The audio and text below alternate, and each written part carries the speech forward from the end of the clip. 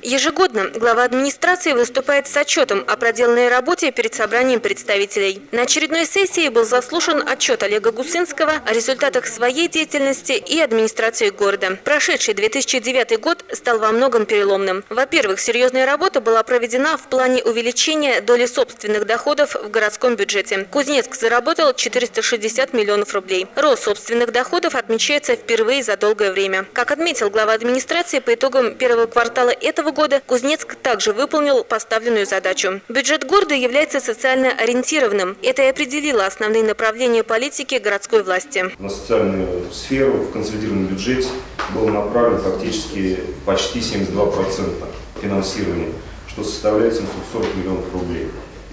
Поэтому это серьезные деньги, серьезное финансирование. В разрезе самой социальной сферы на образование почти 33%, что составляет 340 миллионов рублей. На здравоохранение около 14%, 143 миллиона рублей. На социальную политику около 20%, 202 миллиона рублей и так далее. Было увеличено также финансирование жилищно-коммунальной отрасли, которая получила в прошлом году серьезные вложения в размере 228 миллионов рублей. Кузнецк участвовал в нескольких федеральных программах по переселению граждан из ветхого и аварийного жилья, капитальному ремонту жилого фонда. Есть большие перспективы получить эти деньги новые в 2010 году так как Пензенская область свои лимиты выбрала, но за счет перераспределения в Российской Федерации, я думаю, что есть шанс получить деньги Пензенской области соответственно, Кузнецк. Соответствующую заявку на это финансирование мы в область отправили. При областной поддержке введен в эксплуатацию Ледовый дворец-арена. Одно из приоритетных направлений – улучшение качества воды в городе. В прошлом году 24 миллиона рублей было изыскано из городского бюджета на продолжение строительства второй очереди южного водозабора. А в этом году планируется выделить 12 миллионов рублей. Большое внимание было уделено вопросу капитального ремонта дорог. Те приоритеты, которые мы с вами определили в плане развития жилищно-коммунального хозяйства, мы от них вместе в 2009 году не отклонились. Это, как мы и сказали друг другу, капитальный ремонт дорог, и мы действительно этой работой занимались в 2009 году.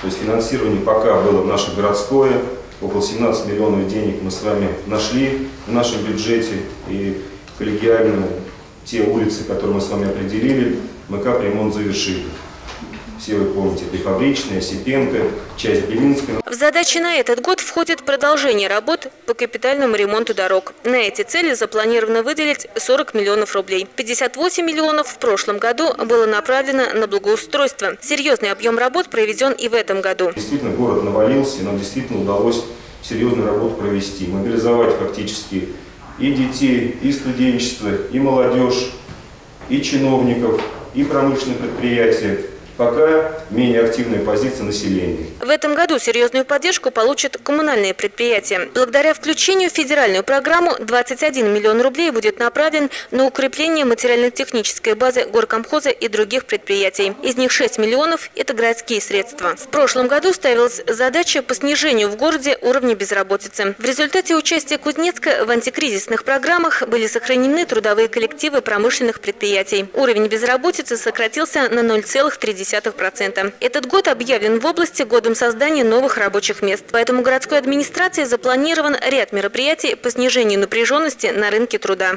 У нас есть контрольные цифры, которые согласованы с правительством Пензенской области. Это создать в 2010 году 3281 рабочее место. То есть по итогам э, первого квартала этого года мы свои обязательства выполнили, даже перевыполнили план первого квартала, где у нас планировалось создание 700 рабочих мест, мы создали их больше.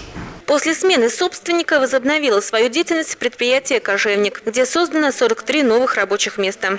На этот год администрация свою задачу видит в сохранении темпов роста объемов промышленности. Городская власть обеспокоена положением дел на заводе радиоприборов и мебельном комбинате. Сейчас рассматривается вопрос оказания помощи этим некогда градообразующим предприятиям. Результатом системной работы городской межведомственной комиссии по налогам и сборам стало отсутствие задолженности по выплате заработной платы на предприятиях города. Администрация заинтересована в поддержке малого и среднего бизнеса при условии активного участия самих предпринимателей предпринимателей во всевозможных программах. Развитие бизнеса может стать одной из составляющих успешной экономики. Выявить все точки роста, которыми располагает город. Это главная задача в рамках разработки плана социально-экономического развития Кузнецка специалистами Плехановской академии из Москвы. Работа уже ведется. В России это первый подобный опыт. Одной из подпрограмм Плехановки, просто я напомню, это, безусловно, будет мебель Кузнецк, это вот кластер, который мы попросили, что они нам разработали, потому что у города традиции большие,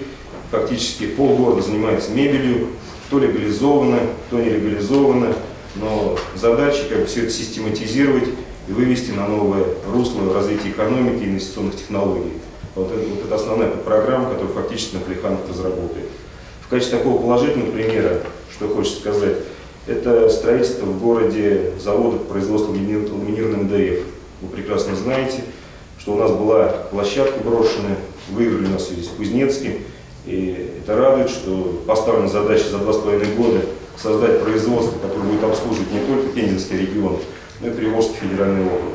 Поэтому и создание на первом этапе 45 новых рабочих мест. В прошлом году решался вопрос по сокращению очередности в дошкольные учреждения. Было открыто несколько дополнительных групп при детских садах. В этом году планируется сократить очередность еще на 110 мест. Остро стоял вопрос по выполнению противопожарных мероприятий в социальных учреждениях. На эти цели была выделена значительная часть средств из городского бюджета. Решался и решается вопрос по привлечению медицинских кадров. В этом году здравоохранение получит серьезную поддержку из Федерации. Поскольку Кузнецк включен в две федеральные программы по дорожному травматизму и кардиологии. В город поступит уникальное медицинское оборудование. Вдвое увеличено финансирование затрат, связанных с проведением спортивных мероприятий. Решается вопрос по доступности получения полного высшего образования в городе на базе КИУТ. Задача наша вместе с вами – это действительно в Кузнецке сделать замкнутый цикл высшего образования. То есть с ректором Волчининым я по этому вопросу разговаривал, политическая поддержка есть, то есть дальше, как уже этот вопрос будет решаться, конечно, зависит от всех, в том числе и от нас. Заслушав отчет главы администрации, депутаты выразили свое мнение. Приоритетные направления, которые были отмечены, это благоустройство, ремонт дорог, чистая вода, поддержка социальной сферы, они идут вот в системе и выполняются. Да, действительно, было сказано, много сделано, и хорошо, что мы участвуем в федеральных программах. Это позволяет нам и укрепить нашу базу, базу коммунальных служб, которая тоже давным-давно не укреплялась, не пополнялась. Участие в программе по здравоохранению мы получим оборудование. Но здесь нужно будет нам еще подумать, посмотреть и поддержать идею о строить, э, укреплении базы учреждений образования. Сразу было заметно вхождение те проблемы, которые существуют перед городом. И основной что, с чего он начал, и мы сегодня уже результаты заслушали, это были определены стратегические направления развития города. Олег Сергеевич правильно расставил приоритеты и определил те задачи, которыми мы должны заниматься как собрание представителей, которыми должна заниматься администрация и лично глава администрации. Поэтому есть положительные сдвиги. Однако, по мнению главы администрации и депутатов, предстоит еще работать над рядом вопросов. Это увеличение налогооблагаемой базы, легализация бизнеса и заработной платы, улучшение жилищных условий молодых семей. Освещение других не менее значимых вопросов вы увидите в следующем выпуске новостей.